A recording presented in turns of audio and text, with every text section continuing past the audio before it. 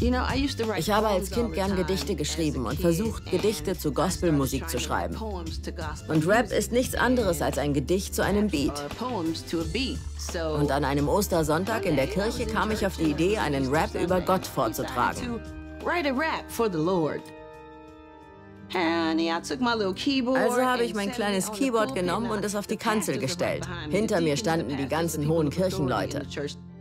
Ich habe den Beat angemacht und gerappt. Mann, war ich stolz. Und als ich fertig war, herrschte Totenstille. Die Kirche stand damals dem nicht offen gegenüber. Ich glaube, meine Oma hat Ärger bekommen. Mir wurde gesagt, ich darf das nie wieder machen.